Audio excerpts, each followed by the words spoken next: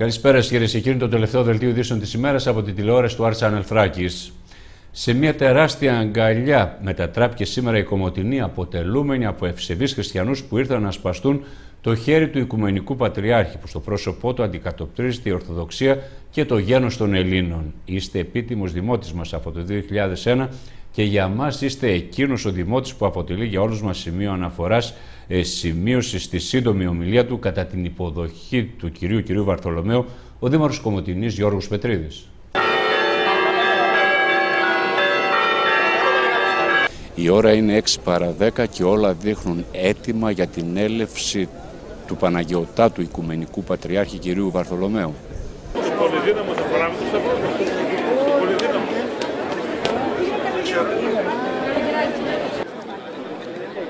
Η έλευση του Οικουμενικού Πατριάρχη στη Ροδόπη σηματοδοτεί την ψυχική ανάταση όλων των πολιτών.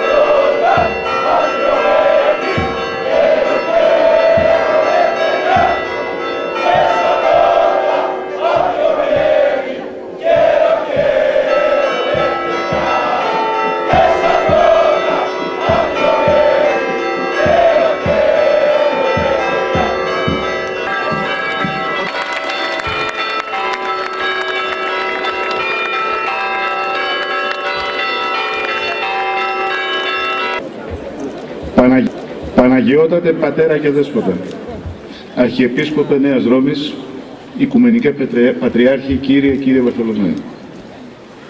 Με μεγάλη χαρά σας υποδεχόμαστε και σας καλωσορίζουμε σήμερα, έμπλεη αγάπης και εκτίμησης στην έδρα του Δήμου Κομωτινής. Αποτελεί ύψιστη τιμή για την πόλη μας και τους κατοίκους της η έλευσή σας στον τόπο, της, στον τόπο μας. Ένας τόπος που τρέφει στο πρόσωπό σας τον μέγιστο σεβασμό καθώς το 2001 νεομόφωνη απόφαση του Δημοτικού του Συμβουλίου σας ανακήρυξε επίτιμο δημότικο. Ένας δημότης μας λοιπόν που αποτελεί για όλους μας σημείο αναφοράς. Ένας ιερωμένος που η Θεία Πρόνοια τον έχει επιφορτήσει με την διακονία του Πατριχικού Θρόνου.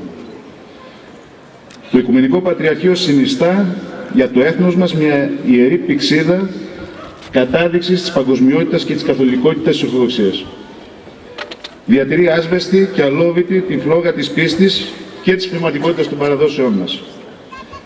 Διαφυλάσσει το κύρος και την οικουμενικότητα των ιδεών του χριστιανισμού και διακονεί με τον επαρκέστερο τρόπο την θέση του μέσα στο πανανθρώπινο πολιτισμό. Και εσείς, ως άριστος ποιμένας και επίσκοπος, σηκώνετε με απόλυτη επάρκεια το βαρύ φορτίο της θυσιαστικής διακονίας αυτού του οικουμενικού θρόνου. Σε καιρούς δυσίωνους σφυριλατείτε την ενότητα της πίστης και εργάζεστε με συνέπεια για την προάσπιση των αξιών της ειρηνικής συνύπαρξης, της εξάλληψης της μυσαλλοδοξίας και του ρατσισμού και για την εμπέδωση του κλίματος αλληλεγγύης, συναδέλφωσης και αγαπητικής συμπόρευσης των ανθρώπων και των λαών.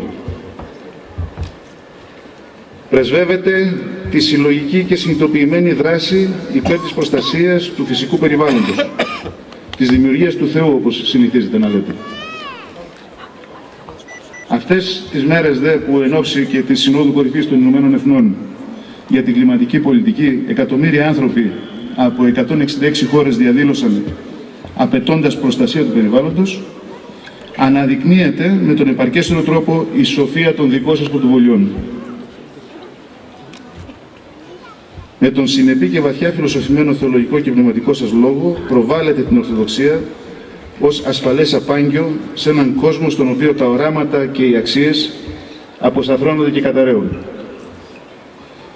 Παναγιώτατε, διερμηνεύοντας και εκφράζοντας τα συναισθήματα των κατοίκων, όλων των κατοίκων του Δημοτικού Μοτινής, αλλά και του Δημοτικού μας Συμβουλίου, Σας εύχομαι εκ βάθους καρδίας να είστε πολύχρονος και να συνεχίζετε με ακατάβλητο φρόνημα να υπηρετείτε τον οικουμενικό θρόνο της Ορθοδοξίας μας. Με ακαταπώνητο πνεύμα και στένος ψυχής να εξακολουθείτε να μας προσφέρετε αφιδώς την καλή μαρτυρία της θυσίας και του χρέους σας επέναντι στην πίστη μας. Αλλά και να παραμείνετε το αδιασάλευτο εκείνο σημείο αναφοράς για κάθε άνθρωπο που ανεξαρτήτως θρησκεύματος και πεπιθήσεων σέβεται τις πανανθρώπινες αξίες της αγάπης, της ανεκτικότητας, της δικαιοσύνης και της ειρήνης. Σας καλωσορίζουμε λοιπόν εμείς οι συνδημότες σας, Παναγιώτατε, και σας ευχαριστούμε που τιμάτε με την παρουσία σας την Κομωτινή και τους κατοίκους της. Καλώς ήρθατε.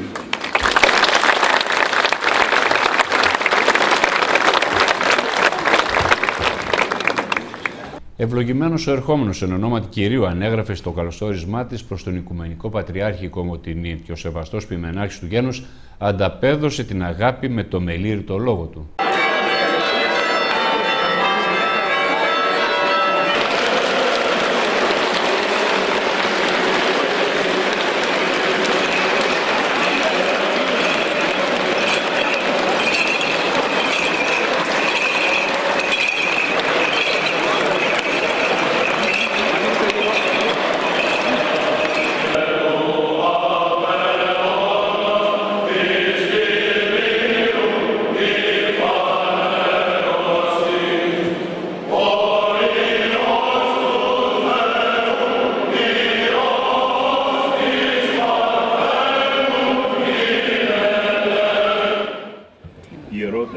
Μητροπολίτας Σερών και Νιγρίτης Κύριε Θεολόγε, εκπρόσωπε του Μακαριωτάτου Αρχιεπισκόπου Αθηνών και Πάσης Ελλάδος Κυρίου Ιερονίμου και της Διαρκούς Ιεράς Συνόδου της Αγιωτάτης Εκκλησίας της Ελλάδος.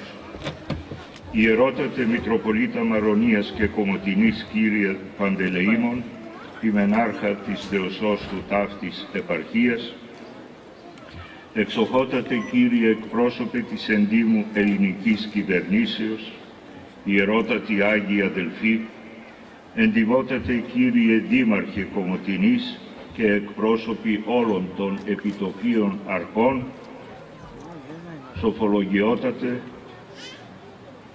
εδεσιμολογιότατε εκπρόσωποι της αρμενικής κοινότητος, τέκνα ημών εγκυρίο αγαπητά.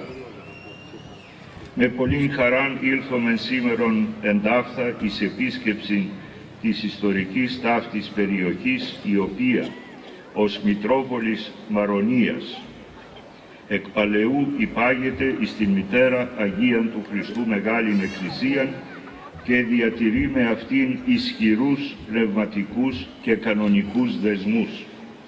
Είναι δε ευλογία Θεού ότι η συνάντησής μας πραγματοποιείται υπό την σκέπη της εφόρου της πόλεώς μας υπεραγίας Θεοτόκου, πρώτου Ιερού Καθεδρικού Ναού του Ευαγγελισμού της, αλλά και διότι ο Μητροπολιτικός Ναός της Κομωτινής είναι αφιερωμένος εις μίαν ακόμη θεομητορική νεορτή αυτήν της κοιμήσεως της Θεοτόκου αποτελεί δε αφορμήν ικανοποιήσεως διημάς το γεγονός ότι και πολιτική αρχές του τόπου εκπροσωπούμενε υπό το εντυπωτά του Κυρίου Δημάρχου υποδέχονται ημάς πρώτου ιερού του του ναού εις ένδειξη της καλής σχέσεως αυτών με την Εκκλησία και του σεβασμού προς τους λειτουργούς αυτής όπερ και ευχόμεθα να συνεχιστεί καθ' όλη τη διάρκεια της άρτη αρξαμένης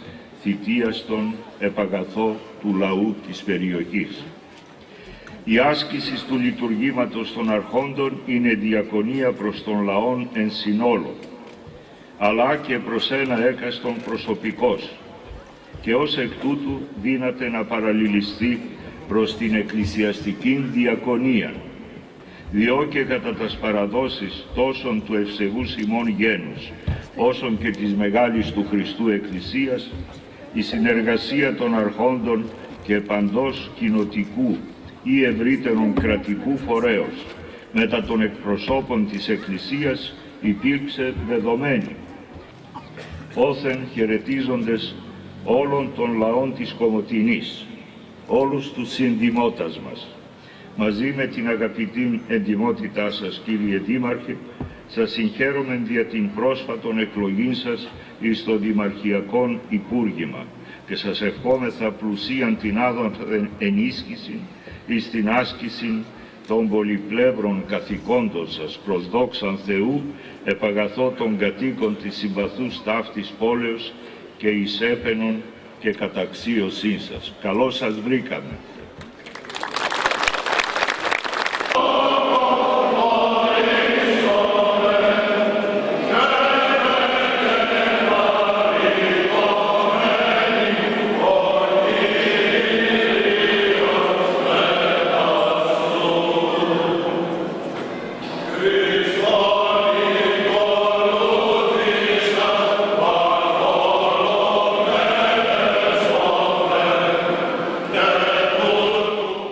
Ω συμβολικά ισχυρότατη και ουσιαστική χαρακτήριστη παρουσία του Οικουμενικού Πατριάρχη στη Ροδόπη, ο βουλευτής της Νέας Δημοκρατίας Ευρυπίδης Τηλιανίδη. Κύριε Υπουργέ, θα ήθελα έτσι να κάνετε ένα σχόλιο με αφορμή την ε, σημερινή έλευση του Οικουμενικού Πατριάρχη στην ε, Θράκη και ειδικότερα στην Ροδόπη. Συμβολικά ισχυρότατη και ουσιαστική επίσκεψη του Οικουμενικού Πατριάρχη, του πνευματικού ηγέτη της Ορθοδοξίας, ο οποίος έρχεται ε, να ενισχύσει το φρόνημα των ακριτών της Θράκης και βεβαίως ε, με τη φωνή του να ενισχύσει τη δική μας φωνή διεκδίκησης περισσότερης προσοχής από την Αθήνα προς την ιδιαίτερη μας πατρίδα. Είμαι βέβαιος ότι με την προσωπικότητά του θα φωτίσει πτυχές που πρέπει να φροντίσουμε όλοι μαζί για να μπορέσει η Θράκη να ξαναβρει το βηματισμό της προς το μέλλον. Τον καλασορίζουμε με μεγάλη αγάπη και ευχόμαστε ο Θεός να τον έχει γερό για να διατρανώνει διεθνώς την φωνή της Ορθοδοξίας. Προσδοκούμε λοιπόν μια ηθική ανάταση, αν μη τι άλλο από αυτή την παρουσία. Πιστεύω ότι και μόνο που ο Οικουμενικός Πατριάρχης με την επίσκεψή του στρέφει τα βλέμματα ολοκλήρου του έθνους αλλά και της οικουμένης στην περιοχή μας είναι κάτι που το έχουμε ανάγκη αυτή τη στιγμή. Αυτή τη στιγμή που η Θράκη αντιμετωπίζει τόσα πολλά προβλήματα και που χρειάζεται περισσότερο ενδιαφέρον. Συγκίνηση, αγάπη και πίστη ήταν τα χαρακτηριστικά που ανέδειξαν μέσα από τις απαντήσεις τους οι όταν ερωτήθηκαν σχετικά με την έλευση του Οικουμενικού Πατριάρχη. Τι σημαίνει για εσάς η επίσημη έλευση του Οικουμενικού Πατριάρχη. Τα πάντα. Άμα είσαι Ορθόδοξος, ότι σημαίνει για τους Καθολικούς ο Πάπας. Τι να σημαίνει. Έχουμε μεγάλη χαρά που θα τον δούμε. Έχουμε και καλό δεσπότη. Σημαίνει σημαντικό πράγμα είναι που έρχεται, ευχαριστημένη και για καλό, για πολύ καλό. Το ίδιο, το, το καλύτερο, τι άλλο, να τον δούμε. Με το καλό να έρθει και να μας ευλογήσει. Οπωσδήποτε για την περιοχή της Κομωτινής είναι ότι το καλύτερο. Δίνει κάποια άλλη ένσταση. Όσον αφορά τη θέση της Θράκης, εννοούμε, εννοώντας. Συγκίνη, συγκίνηση. Σημαντικό γεγονός. Στο πρόσωπο του Πατριάρχη βλέπουμε το γένος των Ελλήνων. Στο μεταξύ, ο Αρχιεπίσκοπος Κωνσταντινούπολος, Ενέας Ρώμης και Οικουμενικός Πατριάρχης κ. κ. Βαρθολομέος αναγορεύτηκε επίτιμος διδάκτορας ε, του Τμήματος Γλώσσας Φιλολογίας και Πολιτισμού Παρευξηνίων Χωρών του Δημοκρατίου Πανεπιστημίου Θράκης.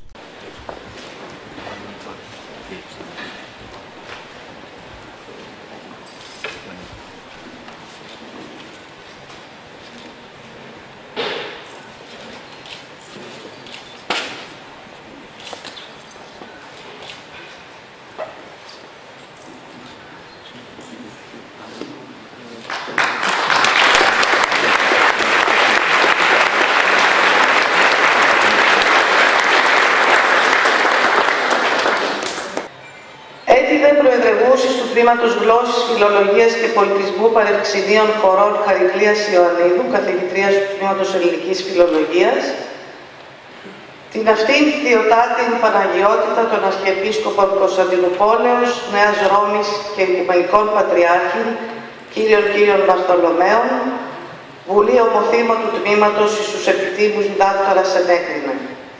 Εν Κομωτινή, μηνός Σεπτεμβρίου, 20 και Δευτέρα, έτη Τετάρτο και Δεκάτο και Δυσχυλωστό από Χριστού Γεννήσεως.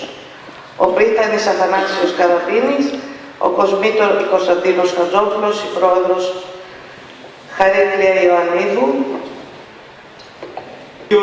Στον εθρονιστήριο λόγο του που εκφώνησε στον Πάσευτο Πατριαρχικό Ναό του Αγίου Γεωργίου στις 2 Νοεμβρίου 1991 τονίζει «Ε μεγάλες φροντίδες άσα να δέχεται ο Πατριάρχης της Νέας Ρώμης και οι ποικίλοι πειρασμοί και επίρρεια καθόν έχει να παλέσει απαιτούσιν αυτόν δεδοκιμασμένο εν το έργο του πιδαλιουχιήν το μέγα σκάφος. Στον ίδιο λόγο του Πατριάρχης δίνει το στίγμα των πρωτοβουλειών που θα αναλάβει και των δραστηριοτήτων που θα αναπτύξει. Συγκεκριμένα αναφέρει ο Οικουμενικός Πατριάρχης θα αφιερωθεί η ιερουργία της αδιασπάστου αποστολικότητος, εις διακονία και μαρτυρία της Ορθοδοξίας και εις οικοδομή της χριστιανικής ενότητος. Όπως θα διαπιστώσουμε στη συνέχεια, ο τιμός σήμερα την πανεπιστημιακή μας κοινότητα και τιμόμενος από αυτήν διάδοχος του Αποστόλου Ανδρέας στον Επισκοπικό θρόνο της Κωνσταντινούπολεως, όχι μόνο πραγματοποίησε τα εξαγγελθέντα, αλλά ανέπτυξε νέες πρωτοβουλίες και προέβησε σε κέρυες παρεμβάσεις για την αντιμετώπιση προβλημάτων που ανέκυψαν εξαιτίας των νέων συνθηκών που διαμορφώθηκαν και των διαφόρων γεγονότων που έλαβαν χώρα στο παγκόσμιο στερέωμα. Οι δραστηριότητες και πρωτοβουλίες του Πατριάρχου Βαρθολομαίου κινήθηκαν, αναπτύχθηκαν και αναπτύσσονται προς τις ακόλουθες κατευθύνσεις και τομείς. Πρώτος στον τομέα των εκκλησιαστικών και θρησκευτικών δραστηριοτήτων και πρωτοβουλειών εντός των ορίων της Αρχιεπισκοπής της Πόλεως. Ο τιμόμενος Πατριάρχης, τέκνο του Πνευματικού Φυτορίου της Θεολογικής Σχολής της Χάρκης και επιτριετία βοηθός σχολάρχους αυτήν, ουδέποτε ελισμόνησε το πικρό ποτήριο που ήπια κάτω το βίο κλείσιμό της το 1971. Έχοντας απόλυτη συνέστηση για τον πνευματικό ρόλο της Αγίας αυτής σχολής από την πρώτη ημέρα της αναρρήσεώς του στον Πατριαρχικό Τρόνο, έθεσε σε όλους τους τόνους και προς κάθε κατεύθυνση το θέμα της επαναλειτουργίας αυτής. Οι αρνήσεις, οι απαιτήσεις και τα προβαλλόμενα κάθε τόσο παράλογα και αντίθετα με τις διεθνείς συμβάσεις ανταλλάγματα από την γείτονα χώρα, δεν έχουν επηρεάσει το αγωνιστικό φρόνημα του Παναγιωτάτου Πατριάρχου Βαρθολομαίου. Η επαναλειτουργία της σχολής ως θέμα προστασίας ανθρωπίνων δικαιωμάτων με τις συνεχείς και στοχευμένες πρωτοβουλίες του Παναγιωτάτου κατέστη πλέον ζήτημα διεθνές.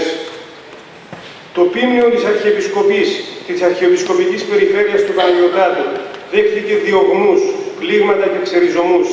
Εν τούτης έστω και συρρυκνωμένο κρατιέται συμπαγές και, συμπαγές και ενεργό. Η απευθείας επικοινωνία του Παναγιωτάτου με ταυτού, κατά τις συχνές επισκέψεις και χωροστασίες της Εκκλησίας των κατατόπους εκκλησιαστικών κοινοτήτων της πόλεως, αποτελεί δείγμα αγάπης, φροντίδας και υψηλής και ψυχικής στήριξης του ποιμνίου του. Ο Πατριάρχης επιδεικνύει ιδιαίτερη ευαισθησία και εμπίπτει στα προβλήματα των νέων, που αποτελούν την ελπίδα και το μέλλον. Συμμερίζει τις ανησυχίες τους και δείχνει προς αυτούς το πατρικό του ενδιαφέρον. Ολόθερμο σας απευθύνουμε τον χαιρετισμό της ημετέρας μετριότητος, προσωπικός και του Οικουμενικού Πατριαρχείου και θερμάς σας εκφράζομαι ευχαριστίας για την αναγόρευση ημών εις επίτιμον διδάκτορα του Τμήματος Γλώσσης, Φιλολογίας και Πολιτισμού Παρευξηνίων Χωρών του Πανεπιστημίου σας. Αποδεχόμεθα την τιμή εξ ονόματος της Μητρός Εκκλησίας της Κωνσταντινούπολεως, της οποίας ελέω Θεού προκαθήμεθα, διότι πιστεύουμε ότι και εσείς εν το προσώπο ημών των ίδιων θεσμών επιθυμείτε να τιμήσετε δια την επί 17 και πλέον αιώνας προσφορά του στην Ορθοδοξία, το γένος, των πολιτισμών και μάλιστα προς τα ελληνικά γράμματα. Δια τούτο επελέξαμε να σας ομιλήσω απόψε δια την Θράκη και των νεότερων πολιτισμών της, ο οποίος προήλθε από την μήτρα του γένους, τη μητέρα Αγία του Χριστού Μεγάλη Εκκλησία και συνετηρήθη μέχρι της σήμερον υπ' αυτής.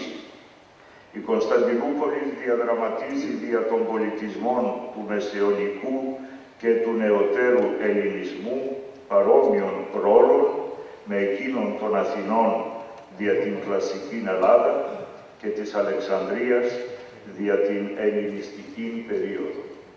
Οι Θράκοι και ο λαός της ενδημιούργησαν και παλαιότερον δια του μεγαλοπνόου και δημιουργικού πνεύματός των μέγα πολιτισμών εις πάντας τους τομείς των τεχνών και των γραμμάτων, ο οποίος όμως δεν θα αποτελέσει αντικείμενο της παρούσης ομιλίας. Αγαπητοί παρόντες, η Θράκη κατέχει σημαντική πολιτιστική θέση στην ιστορία του Βυζαντίου, της Οθωμανικής Αυτοκρατορίας, ιδιαίτερος όμως της Μητρός Εκκλησίας της Κωνσταντινούπολης. Κατοικήθηκε και κατοικείται από ένα λαό ο οποίος έμαθε ενωρίς να αγαπά και να θυσιάζεται. Ένα λαό εκ του οποίου πολλοί κατακτητέ έτρωγων για να χρησιμοποιήσουμε τους λόγους του στρατηγού Μακρυγιάννη, αλλά πάντοτε έμενε η μαγιά η εκλεκτή μικρά ζήνη, η οποία όλον το φύραμα ζημεί, δια την οποία μας ομιλεί το Ιερόν Ευαγγέλιο.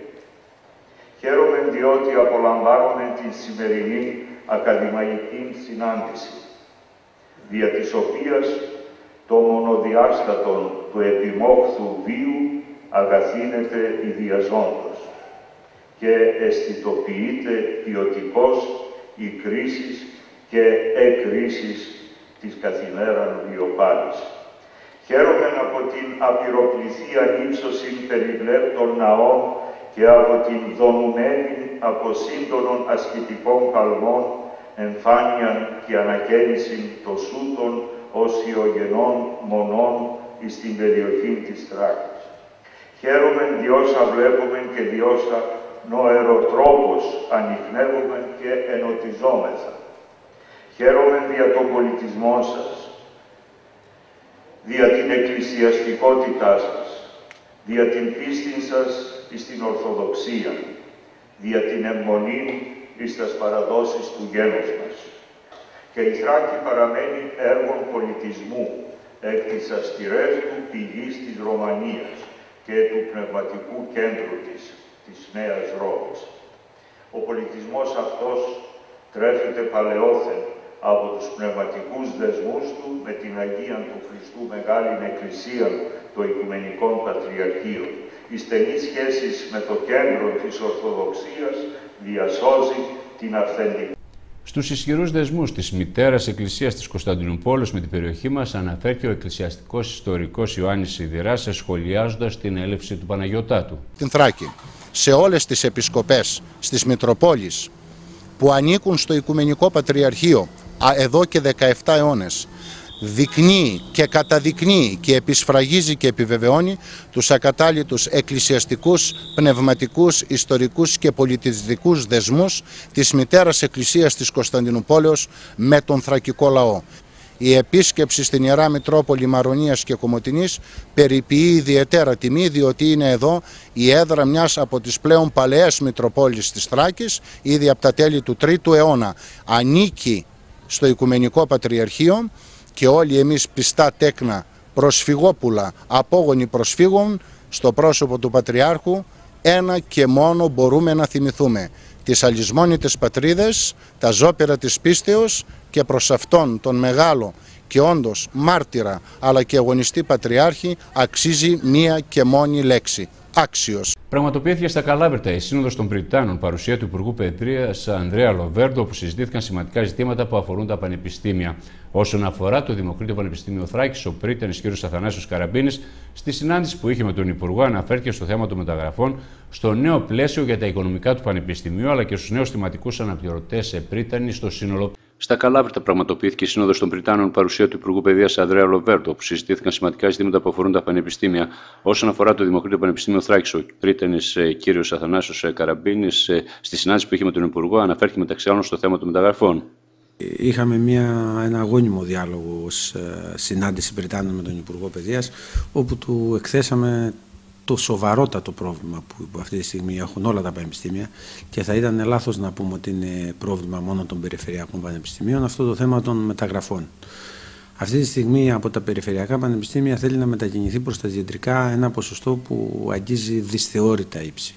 Παραδείγματος χάρη στο τμήμα νομικής μας οι αιτήσεις έχουν φτάσει στο 70% για μεταγραφή. Στο τμήμα αρχιτεκτών 80%. Στο πολιτικών μηχανικών 75% γεγονός που εάν εφαρμοστεί αυτό άκρητα και τα επόμενα χρόνια θα μας οδηγήσει όχι μόνο στην συρρήκνωση και κατάργηση των πανεπιστημίων της περιφερειάς αλλά και στην ουσιαστικά δυναμία να εκπαιδεύει η χώρα στην τριτοβάθμια εκπαίδευση αξιόλογους επιστήμονες.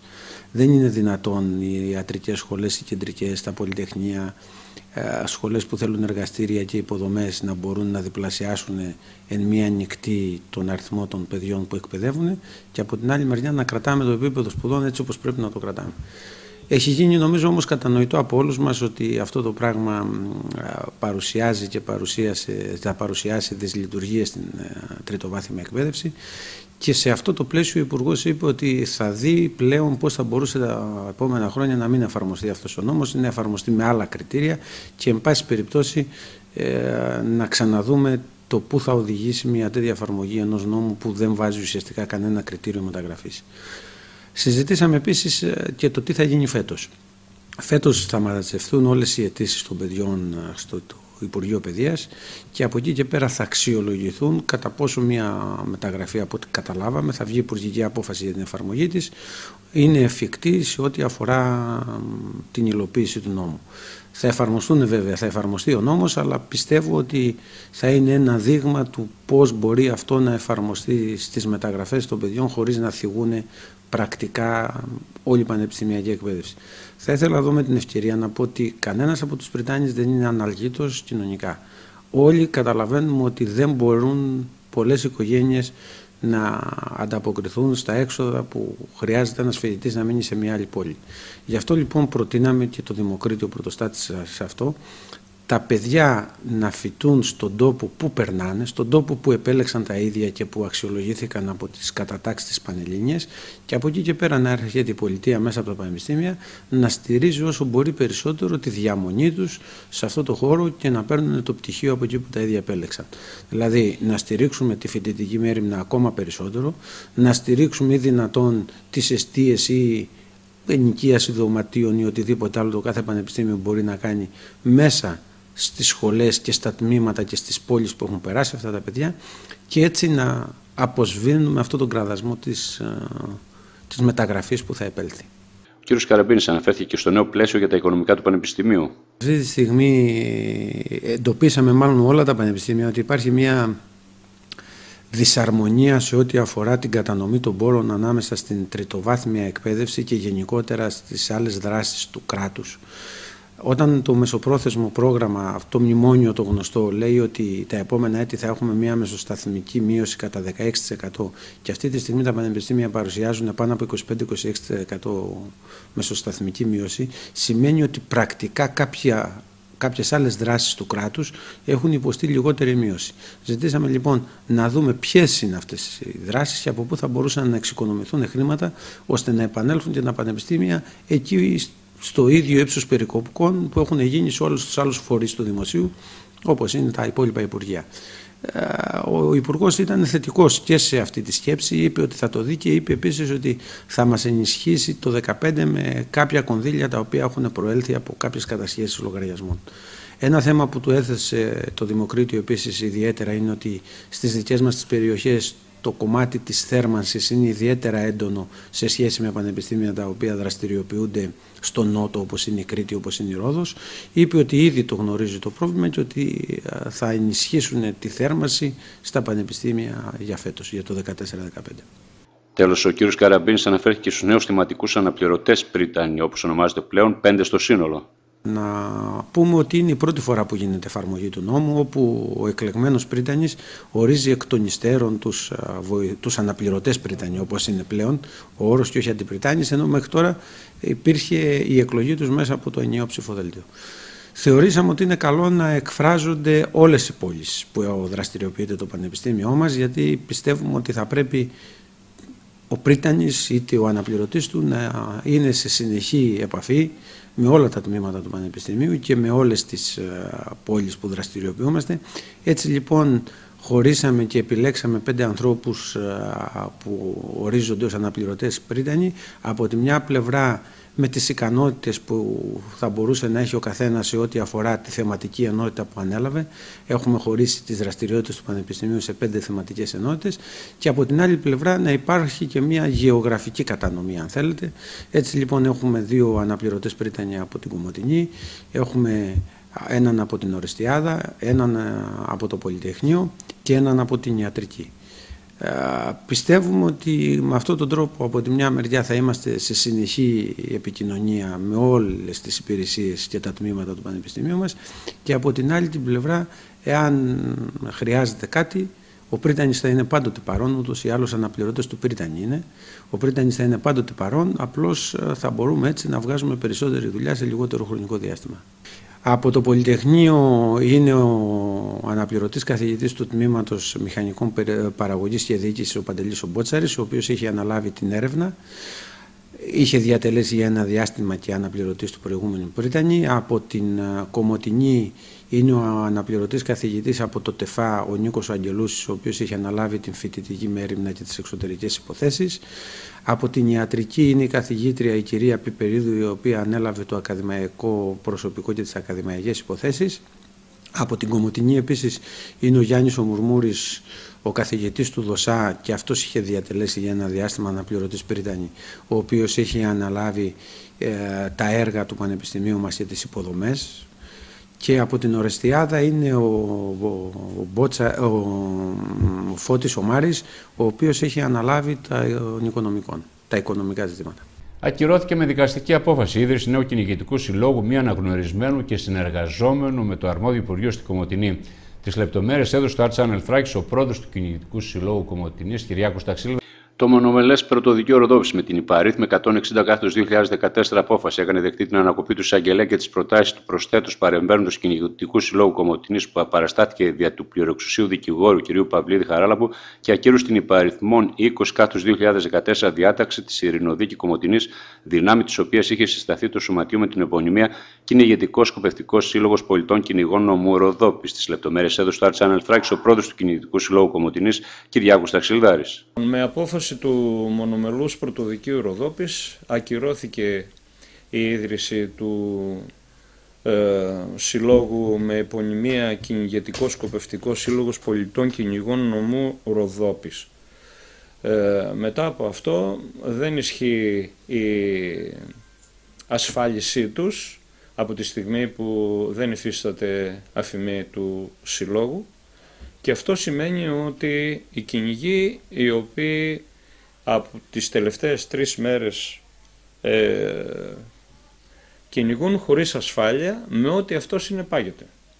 Πρώτον, κυνηγούν παράνομα και δεύτερο θα πρέπει να ξέρουν τόσο αυτοί όσο και οι άλλοι κυνηγοί πολίτες ότι σε ένα ενδεχόμενο ε, ατυχήματος ε, δεν θα είναι καλυμμένοι. Ε, εμείς ε, καλούμε ε, τους ε, κυνηγούς, είτε είναι νέοι, είτε είναι παλαιά μέλη μας, να ξεπεράσουν αυτό το πρόβλημα, να έρθουν στον σύλλογο.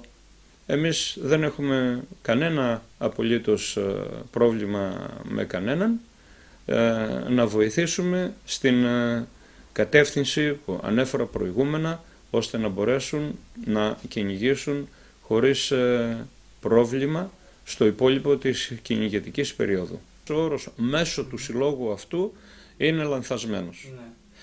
Κανένας σύλλογος εκτός από τον κυνηγετικό σύλλογο Κομωτινής και τον κυνηγετικό σύλλογο Σαπών δεν δικαιούται να μεσολαβεί στο δασαρχείο για την έκδοση αδειών. Ο συγκεκριμένος σύλλογος είναι ένας αθλητικός, για παράδειγμα, σύλλογος, όπως είναι ο Γάσο, ο Πανθρακικός, η ΑΕΚ, οποιοδήποτε. Σκοπευτικοί μπορούν να υπάρχουν άπειροι σύλλογοι αρκεί να είναι μέλη της ΣΚΟΕ, της Ομοσπονδίας της Σκοπευτικής. Εκεί είναι βέβαια, δεν υπάρχει κανένα θέμα. Αλλά δεν μπορεί να υπάρχει κυνηγετικός σύλλογος. Και να εξηγήσουμε για μια φορά ακόμη, επειδή παρευρέθηκα στο δικαστήριο. Η μαρτυρία Προέδρου Γειτονικού Νομού που επικαλέστηκε ο δικηγόρος ήταν ότι εμείς δεν διαχειριζόμαστε χρήματα ε, πράγμα που σημαίνει ότι ο κάθε κυνηγός μόνος του μεταβαίνει στο δασαρχείο, πληρώνει το παράβολό του και καταθέτει την ασφάλεια, η οποία δεν υφίσταται από τη στιγμή που δεν έχουν αφημεί στη συγκεκριμένη στιγμή. Έτσι σαν σύλλογος. Λοιπόν, δεν έχουν καμία σχέση με την έκδοση αδειών, επαναλαμβάνουμε, και αυτό δεν είναι δικιά μου θέση. Είναι θέση του δασαρχείου, της υπηρεσίας και του... Εμείς στηριχθήκαμε σε ένα δεδικασμένο, δεν είπαμε τίποτε απολύτως στο δικαστήριο. Δηλαδή ο Μπάμπης ο Παυλίδης που είναι ο εκπρόσωπός μας ε, όταν ερωτήθηκε είπε ότι δεν έχω να καταθέσω τίποτε.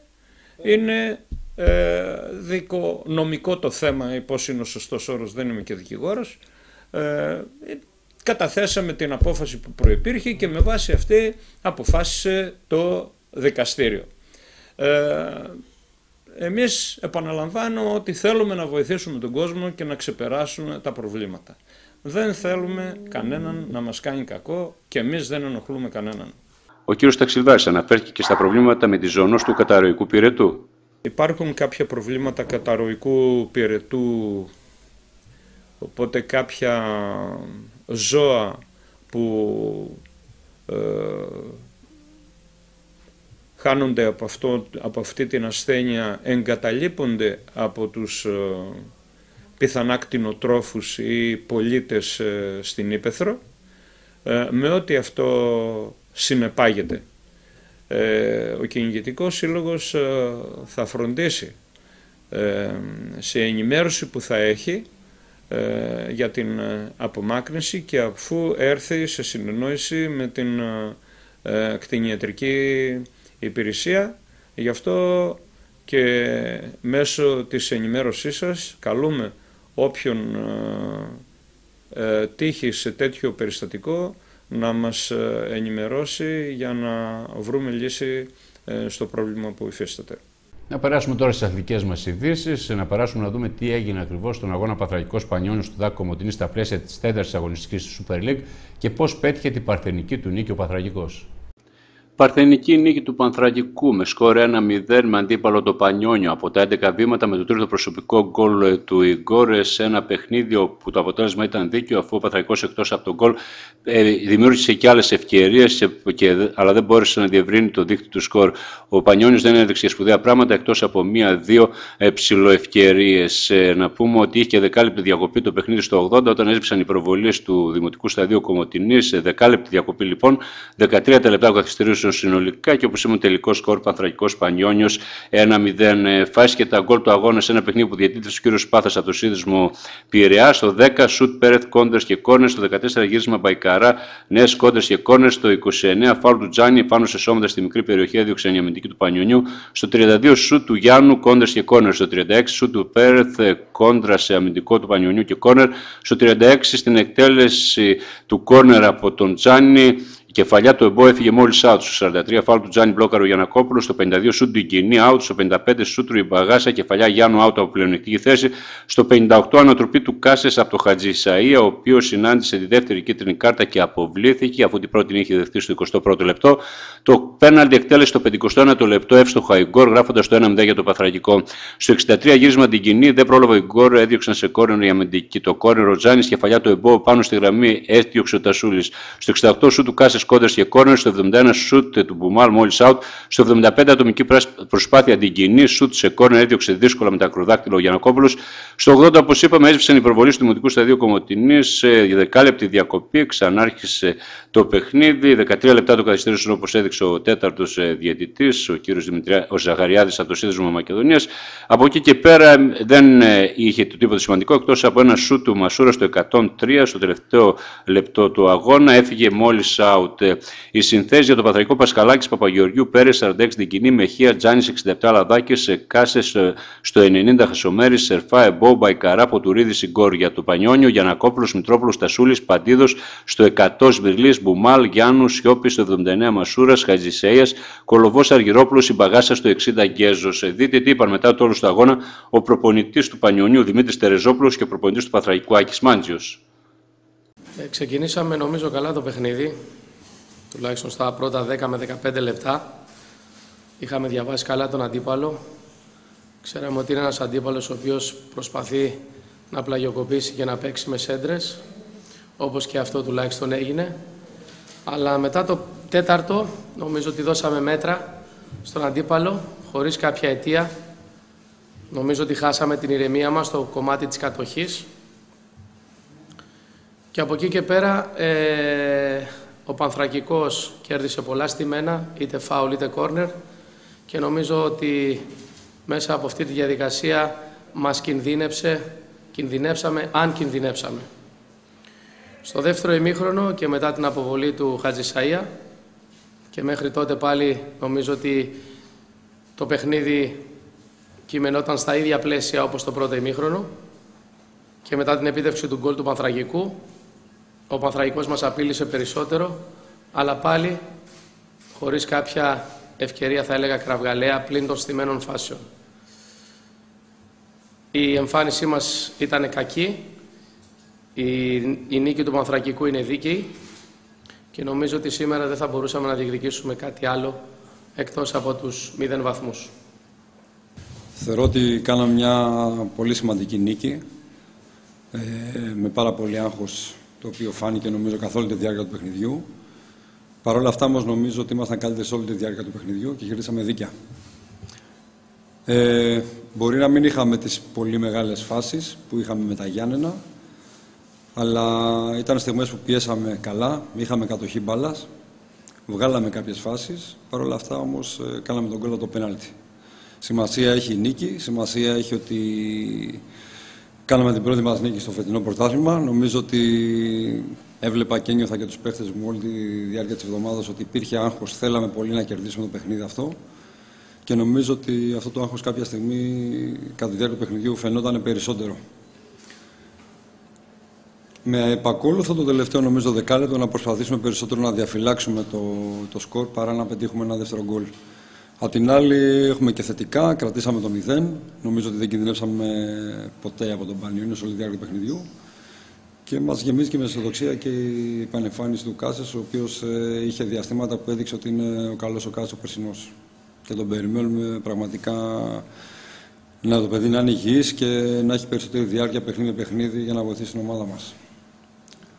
Αυτά. Ευχαριστούμε και τον κόσμο για τη βοήθεια που μας έδωσε και νομίζω ότι Όπως είπα, κερδίσαμε δίκαια, κερδίσαμε το Ξεκίνησε το Σάββατο το πρωτάθλημα της Α1 κατηγορία τη Strikes με τη συμμετοχή 11 ομάδων, όπου στη Πρεμιέρα τα φαβοροί έδειξαν τη δύναμή τους, ενώ στο ντέρμπι η Άσμου Κοσμίου επικράτησαν οι γηπεδούχοι. Ξεκίνησε το πρωτάθλημα της Α1 κατηγορία τη Strikes, όπου στη Πρεμιέρα επικράτησαν τα φαβοροί ενώ στο ντέρμπι Άσμου Κοσμίου επικράτησαν οι γηπεδούχοι. Αναλυτικά τα αποτελέσματα της πρώτης αγωνιστικής: Ιάσμο Κόσμιο 3-1, Έγυρο Προσκυνητές 1-2, Ξυλαγανή Ελπίδα Σαφών 1-2, Φιλία Σώστης 1-1 και Νέο Συντηροχώρη Άγιο Θόδωρη 2-0. Ενώ ρεπό είχε ο Μίσχος στη βαθμολογία. Προηγούνται Ιάσμο Νέο Συντηροχώρη Ελπίδα Σαφών και Προσκυνητές με 3 βαθμούς. Ακολουθούν Σώστης Φιλία 1, ενώ χωρίς βαθμό παρέμειναν Έγυρο Ξυλαγανή Άγιο Θόδωρη και Κόσμιο. Αυτά ήταν τα νέα μέχρι αυτή την ώρα από την τηλεόραση του Art Channel Από όλους εμάς, καλή σας